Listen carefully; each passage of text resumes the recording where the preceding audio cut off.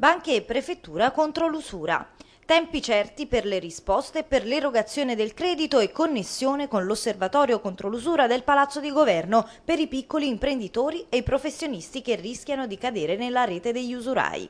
Questi alcuni degli aspetti peculiari del protocollo d'intesa firmato dal prefetto Andrea De Martino, dal direttore della filiale di Napoli della Banca d'Italia Giuseppe Boccuzzi, dal presidente della commissione regionale ABI Giuseppe Castagna e dai rappresentanti di 21 istituti bancari. In un periodo di crisi economica come quello attuale, il livello di guardia verso questo fenomeno deve essere sempre maggiore, ne è convinto il prefetto Andrea De Martino eh, il 23% circa delle famiglie, secondo dati recenti dell'Istat,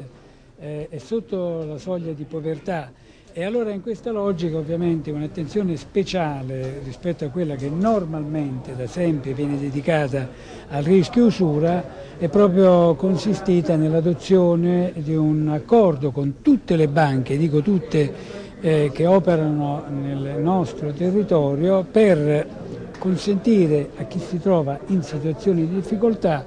eh, un canale privilegiato e tempi certi la prefettura farà quindi da collante tra le banche e l'osservatorio contro l'usura e ci si potrà rivolgere all'ufficio di governo anche in caso un istituto di credito non tenga fede al protocollo firmato. Ascoltiamo ai nostri microfoni Giuseppe Castagna, presidente della commissione regionale ABI. Durante tutto l'anno eh, in Campania sono aumentate parecchio anche le erogazioni nei confronti delle piccole e medie imprese. Devo dire che gli ultimi trimestri invece registra una situazione più critica non tanto per la mancanza di incremento di richieste, d'altra parte gli investimenti sono fermi, quindi si tratta solo di domande o per ristrutturazione o per circolante, però oggettivamente a questo si aggiunge una crisi di liquidità anche da parte delle banche che ha un po' eh, diminuito il tasso di erogazione.